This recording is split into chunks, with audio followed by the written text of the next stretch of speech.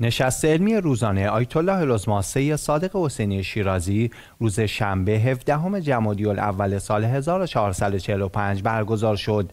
در این نشست همچون جلسات پیشین ایشان به سوالهای حاضران در جلسه پیرامون مسائل مختلف فقهی پاسخ دادند.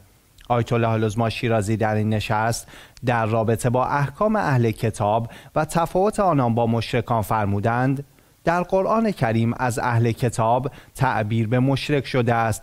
همان گونه که در آیه 63 سوره نمل آمده آیا با وجود خدای یکتا خدایی هست؟ هرگز نیست. خدای متعال بسی برتر و بالاتر است. از آنچه مشرکان جاهل شریک وی میشمرند. اما در روایات بین احکام اهل کتاب و غیر اهل کتاب فرق گذاشته شده است. معظم الله با اشاره به اینکه مشرکان شامل بتپرستان و ملحدین و امثال این گونه از تفکرها و عقاید می‌شوند فرمودند مشرکان کتاب ندارند و خود آنها هم ادعایی در این زمینه ندارند. اما اهل کتاب چون کتاب دارند اگرچه کتاب آنان تحریف شده اما شارع بین احکام آنان و احکام مشرکان فرق قائل شده است. چرا که کتاب اهل کتاب به آن دلیل حجت بوده که از جانب خود آمده. همانگونه که قرآن نیز از جانب خود آمده و حجت است. لذا مشرکان به دو دسته تقسیم شدند. مشرکانی که غیر از یهود و نصارا و مجوس هستند و مشرکانی که یهود و نصارا و مجوس هستند و از آنان به اهل کتاب تعبیر شده است. ایشان در ادامه فرمودند ائمه اطهار علیهم السلام نیز میان مشرکان و اهل کتاب تفاوت قائل شدند و این مسئله در روایات هم ذکر شده است لذا ما غیر مسلمانان را به دو دسته اهل کتاب و غیر اهل کتاب تقسیم کرده ایم و غیر اهل کتاب شامل همه موارد غیر از یهود، نصارا و مجوس مانند بتپرستان، ملحدین و همانند آنان می شوند.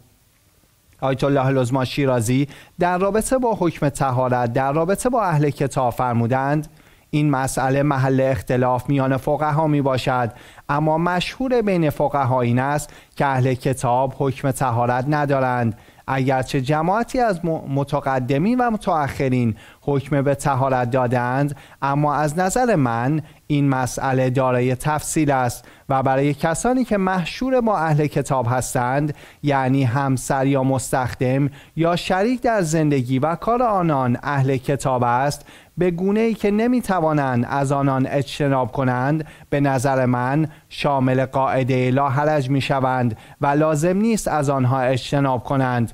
اما این حکم در رابطه با کسانی که شامل قاعده لا حرج نمی شوند جاری نمی شود با هم فرمایشات آیت الله العظما شیرازی را ببینیم و بشنویم. چون مشهور عمل به روایات نجاست کردن قالب نجاست هستم اجتناب واجب نی نه عرض کردم وقت اجتناب واجب نه که پاکه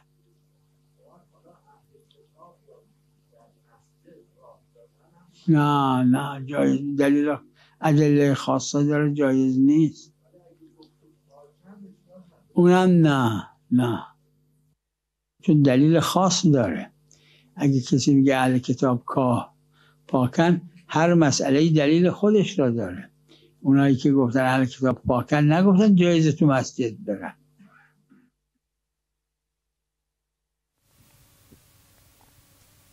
لازم به ذکر است که سلسله نشست های علمی آیت الله العظما سید صادق حسینی شیرازی به صورت روزانه در بیت معظم الله در شهر مقدس قوم خیابان چهار مردان کوچه شش رأس ساعت 11 به وقت محلی برگزار می شود و شما می توانید به صورت مستقیم از شبکه امام حسین علیه السلام ماهواره یاهصد فرکانس 120 بیننده نشست علمی باشید.